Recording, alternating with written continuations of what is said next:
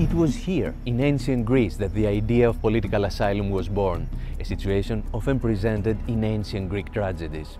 3,000 years later, the Mediterranean Sea has become an open graveyard for thousands of refugees who try to reach the coasts of Greece. And now, probably for the first time in the history of the European Union, a refugee who was granted asylum in Greece had to apply in another European country. It was the only way, he said, to protect myself not only from the neo-Nazis, but also from the Greek police.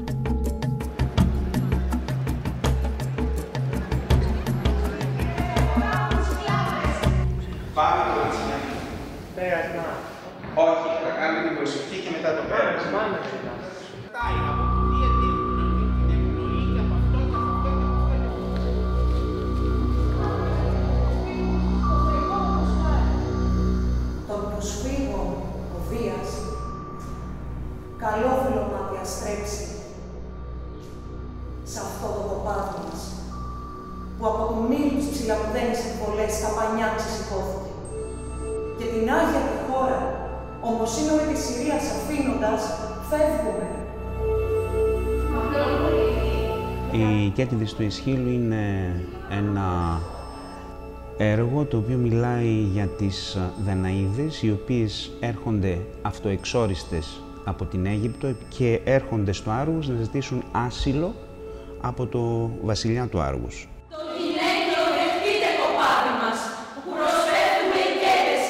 Ο βασιλιάς τις δέχεται, ξέροντας ότι ανοίγει πόλεμο με τους Αιγύπτους. Έρχονται κυνηγημένες και γρήγορα γρήγορα ζητούν το άσυλο γιατί όπου να είναι θα έρθουν οι εισβολείς. Αυτή είναι η συνθήκη. Έχει λίγο αυτή την εικόνα του σύγχρονου πρόσφυγα που έρχεται με το φουσκωτό. Φυσικά. Μόνο που αυτό δεν είναι φουσκωτό, είναι ένα κανονικό καράβι, αλλά είναι κυνηγημένο καράβι.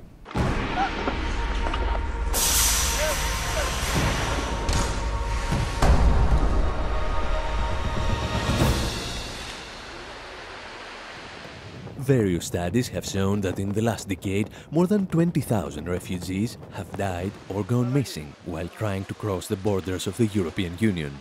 Today, the suppliants of Aeschylus may have never had the chance to reach the coasts of Greece. Έχουμε πλέον σχεδόν κάθε δύο μήνες ένα ναυάγιο με έναν αριθμό θυμάτων από 10 μέχρι 20. Ε, το πρώτο πεντάμινο του 14 στο Αιγαίο, 70 άτομα. Είναι πολλά. Θα έπαιρναν σήμερα άσυλο, θα τους έδιναν; Δεν νομίζω ότι οι κυβερνήσεις θα σκεφτούν το δίκαιο των ανθρώπων, τα ανθρώπινα δικαιώματα. Μάλλον οι κυβερνήσεις σκέφτονται τα συμφέροντα των κυβερνώντων, δυστυχώς. For the past few years, until 2013, the number of refugees granted political asylum in Greece was almost zero. Now, the UN Refugee Agency recognizes that significant progress was made after the inauguration of a new asylum service. But for thousands of refugees, significant problems remain. Η διαδικασία του ασύλου είναι σε καλό βαθμό, σαφώς σε βελτίωση σε σχέση με το παρελθόν, αλλά το ζήτημα δεν είναι η αναγνώριση ενός δικαιώματος, αλλά η δυνατότητα να το ασκήσεις. Ένας άνθρωπος ο οποίος πήρε ένα χαρτί επιτέλους που το δικαιούται και του αναγνωρίζει κάποια δικαιώματα, αν δεν μπορεί να ασκήσει αυτά τα δικαιώματα γιατί δεν μπορεί ουσιαστικά να εργαστεί, δεν μπορεί να βρει κοινωνική ε, στήριξη από το κράτος για να κάνει τα πρώτα βήματα της ένταξής του, το χαρτί είναι δωρονάδωρο. Mamadou Ba from Guinea was one of the refugees to be granted asylum in Greece, only to realize that this was the start and not the end of his problems.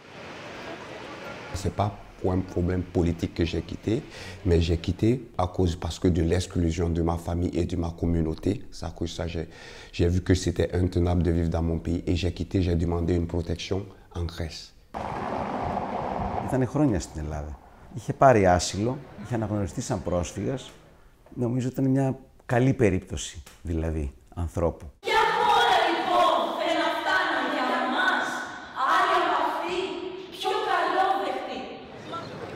Quand je suis venu en Grèce pour la première fois, je n'avais pas senti le racisme.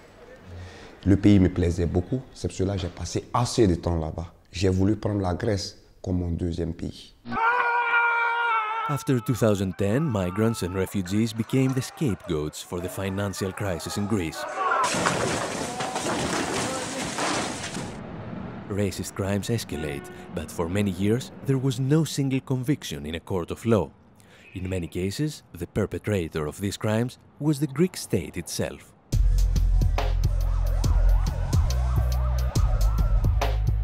J'étais à l'arrêt du bus, j'attendais mon bus, la police est venue, ils m'ont demandé de m'identifier, c'est un contrôle de routine, j'ai donné mon passeport.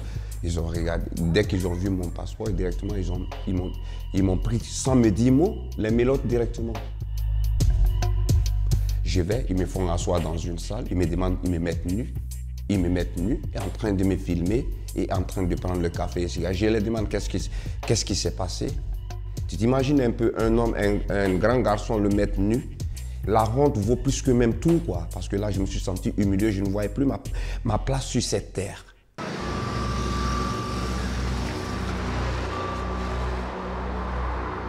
J'ai eu l'agression de la police, ça c'est ce que j'ai vécu moi-même. Et j'ai eu l'agression aussi des milices d'Obdoré aussi, qui m'ont trouvé au même arrêt de bus, qui m'ont m'ont trouvé là, qui m'ont fendu la tête et que je n'ai pas reçu aussi de soins, tout ça. Et voici vo- euh, les séquences qui sont là jusqu'à aujourd'hui. Ils m'ont trouvé, ils étaient huit personnes sur quatre motos. Quand ils la seule chance que j'ai pu avoir, celui qui m'a tapé, avant que les autres ne reviennent, il voulait, m'a- il voulait continuer. L'autre a dit directement, celui qui m'a tapé, il a dit non, reste- laissez-le, il est- lui là, il est déjà mort.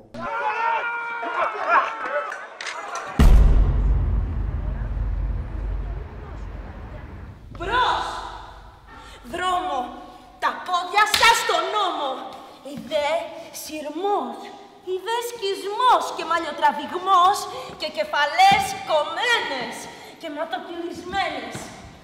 Μπρος! Αυτό πραγματικά που μου έκανε εντύπωση ήταν πια ο φόβος αυτού του ανθρώπου, μάλλον ένας άνθρωπος που είχε χάσει την, την πίστη του και την εμπιστοσύνη του στο ότι σε μια επόμενη επίθεση θα υπήρχε κάποιος να τον προστατεύσει. J'étais couché au bord de la route pendant 40 minutes. Personne n'est venu à mon secours.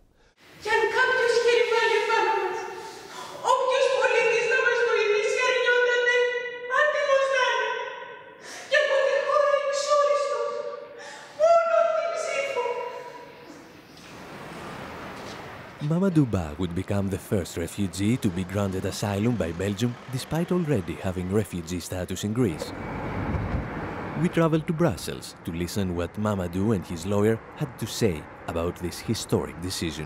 Et la particularité euh, du cas de M. Ba, c'est que c'était une situation où le statut de réfugié lui avait déjà été accordé.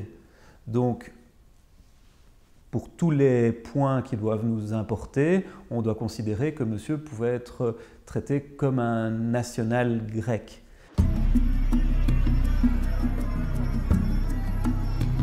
Mais elle a aussi admis, et ça c'était une première, que euh, monsieur était en danger s'il rentrait en Grèce. Donc par là, il reconnaissait que les autorités grecques dans leur ensemble n'étaient pas en mesure d'assurer une protection acceptable euh, pour monsieur Ba. Et ça, ça vient évidemment de la situation dans le pays, euh, des agressions menées par les milices d'Aube dorée et de la complicité qu'il y a entre euh, certains membres de la police et ces milices. Si ces gens, les milices d'Aube dorée, osent aujourd'hui faire des patrouilles dans la rue d'Athènes, c'est parce qu'ils sont tolérés par la police.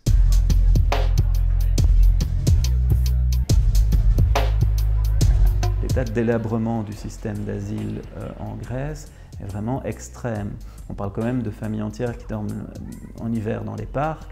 On parle de centres de détention que le Parlement européen avait jugés sordides et dangereuses, qui sont quand même des expressions très fortes, surtout dans la bouche de gens qui ont rarement un discours euh, très tranché.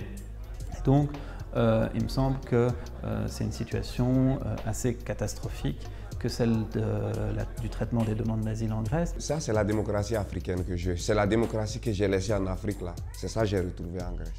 Νομίζω ότι είναι ένα καμπανάκι θα έλεγα για να μην πω ισχυρό ράπισμα, έτσι, σ- όσο αφορά την ουσιαστική λειτουργία ενός κράτους δικαίου σε μια χώρα της Ευρώπης. La Belgique a donné une leçon à la Grèce, à, à la Grèce en disant normalement, quelqu'un vous avait donné un statut de réfugié politique, et vous, devez- vous méritez de le protéger. C'est c'est ce que j'appelle la démocratie, c'est ce que j'appelle un pays où il y a, un- il y a le droit de l'homme, c'est ce que- c'est que c'est c'est ça, c'est ce qu'on entendait. Για τους πρόσφυγες, με τρόμο προμαντεύω ενάντιες μπόρες, Σκληρούς πόνους και ματόβρεχτους πολέμους.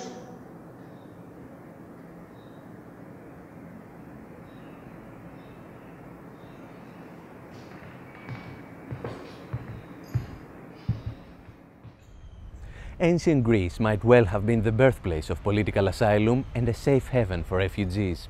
But in modern Greece, after the economic crisis, the rise of the neo Nazis, and the failure of the state to protect its citizens, many refugees would rather apply for asylum to escape from Greece. Aris Hadistefano for Telesur in Athens.